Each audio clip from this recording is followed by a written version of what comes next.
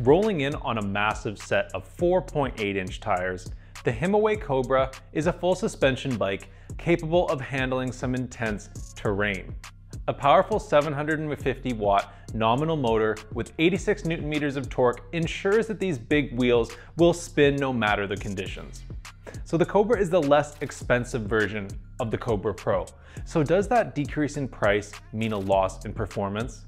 It's time to take the Cobra out for a spin and see what this full suspension bike is capable of. Before we roll the intro, if you like this content, please come over and subscribe at the channel so we can keep on making you great e-bike related content. I'm Scott with BikeRide.com and I want to thank you for watching. Now let's get this started and go ride some bikes.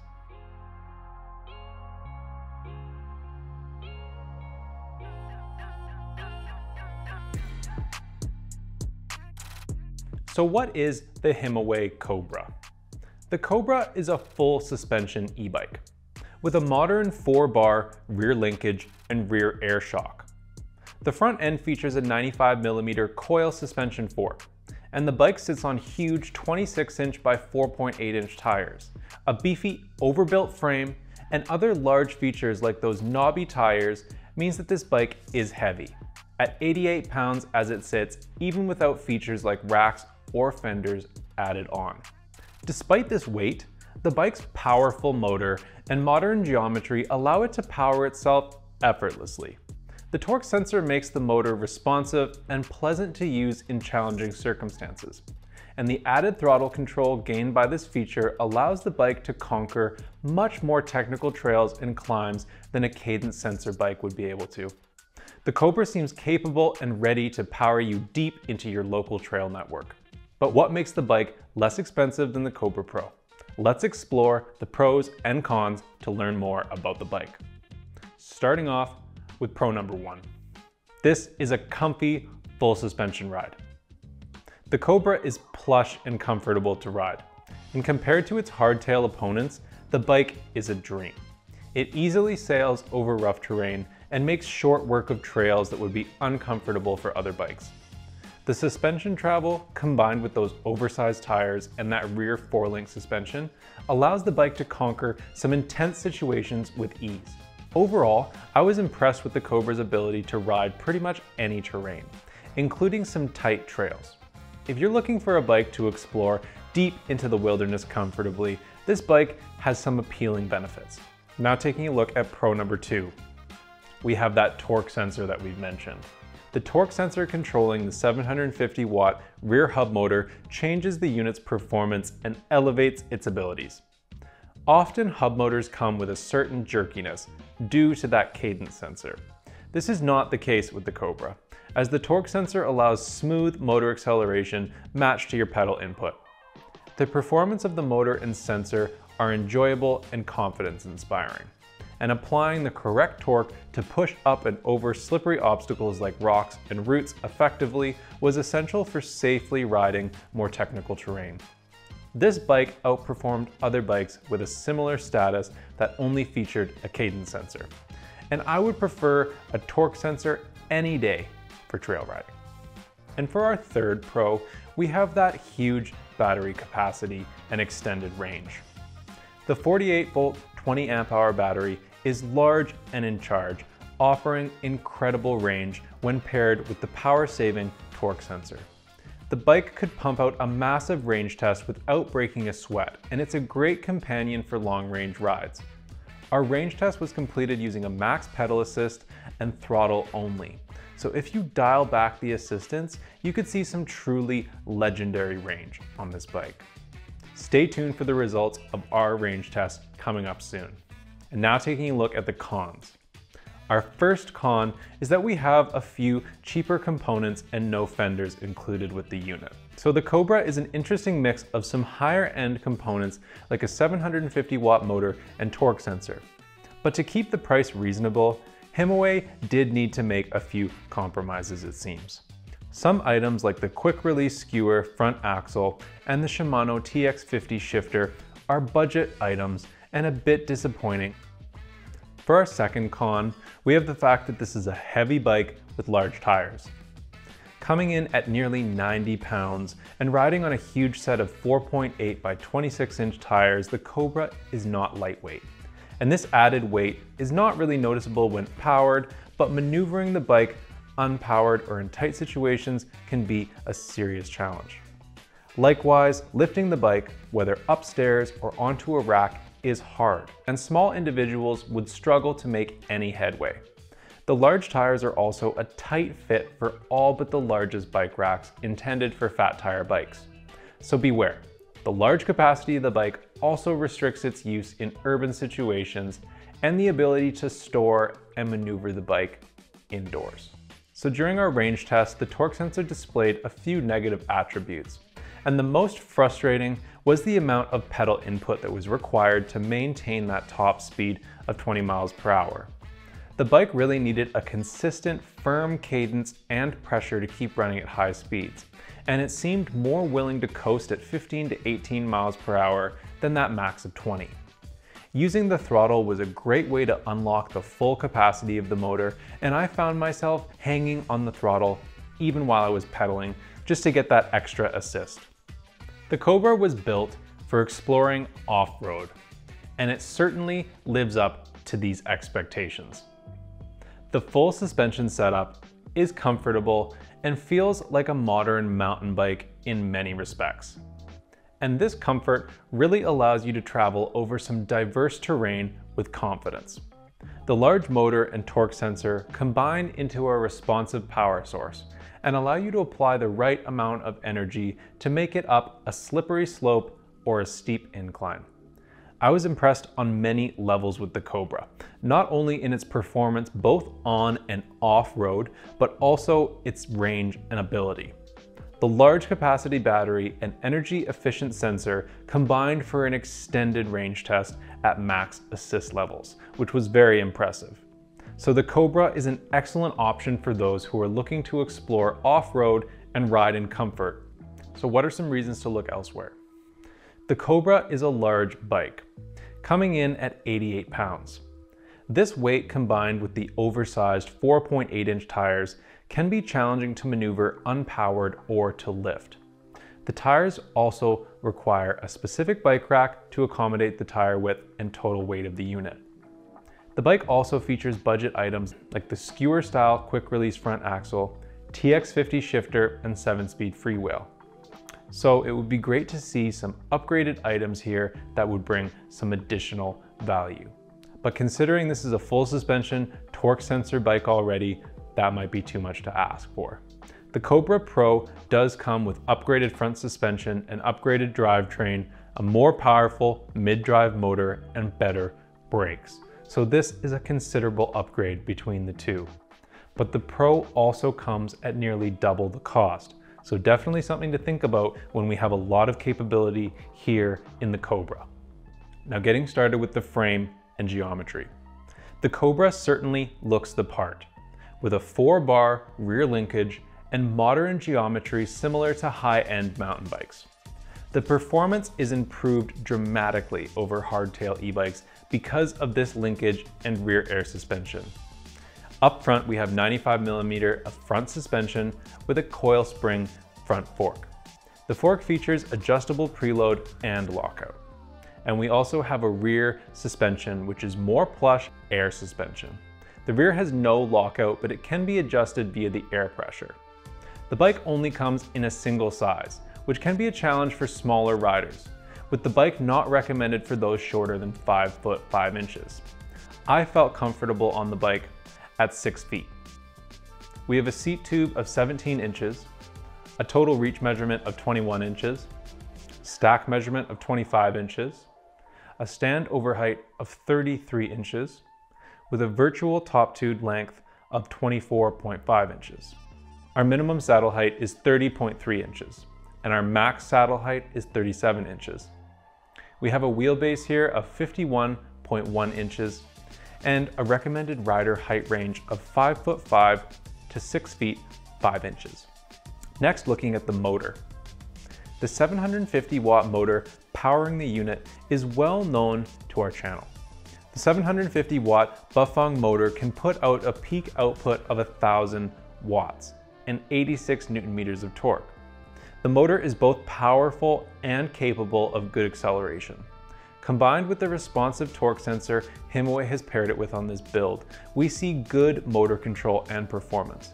This is especially helpful in slippery or technical sections of trail where you need good control to ensure that you don't lose traction and crash.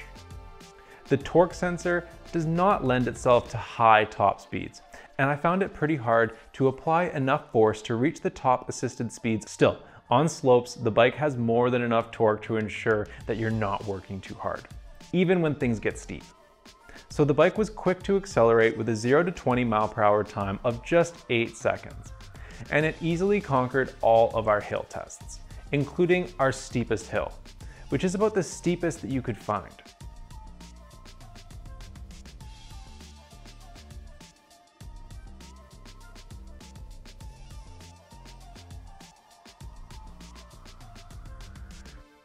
Next, taking a look at the cockpit and control. Traditional mountain bike bars with a slight 20 millimeter riser feature the standard items. Grips, brake levers, throttle, shifter, and bell. The layout is comfortable, if a little cramped, due to the large TX50 shifter sitting over the bars.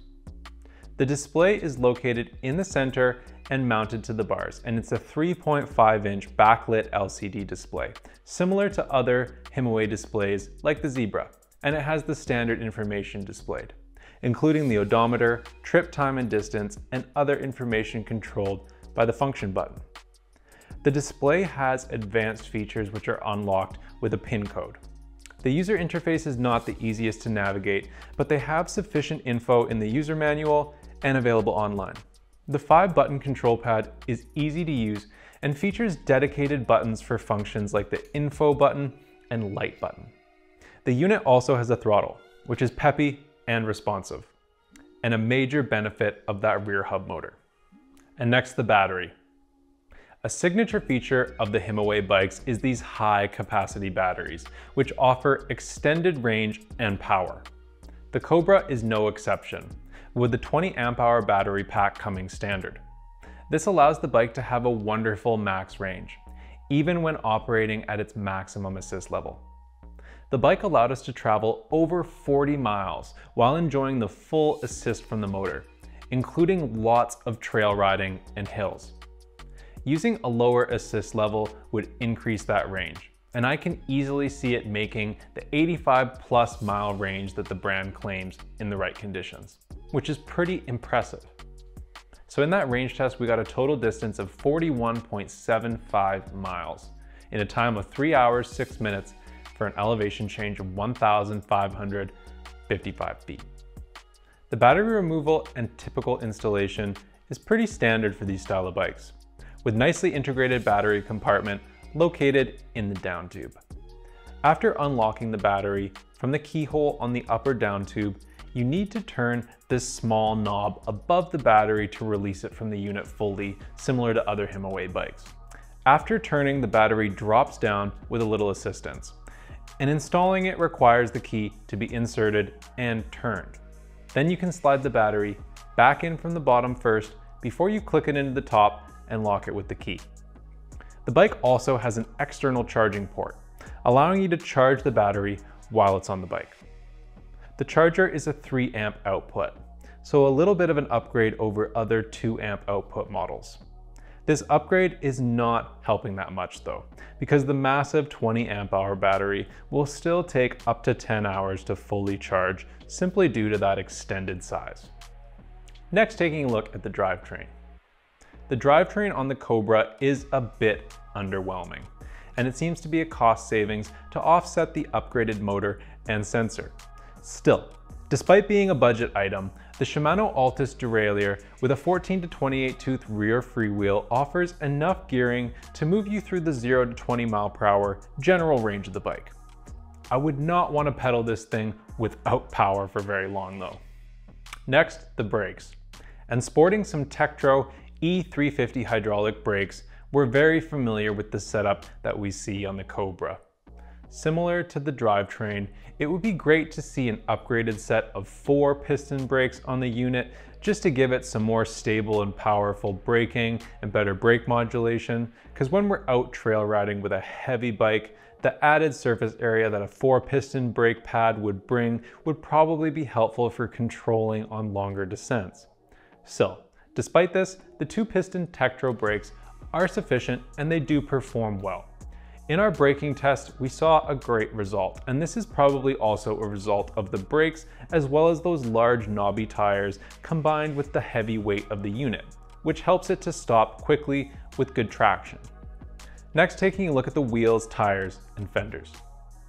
And speaking of those tires, we have a large set of 26 by 4.8 inch CST roly-poly tires, which offer good traction and surface area and these massive tires can be aired down to find better traction in loose conditions or even snow.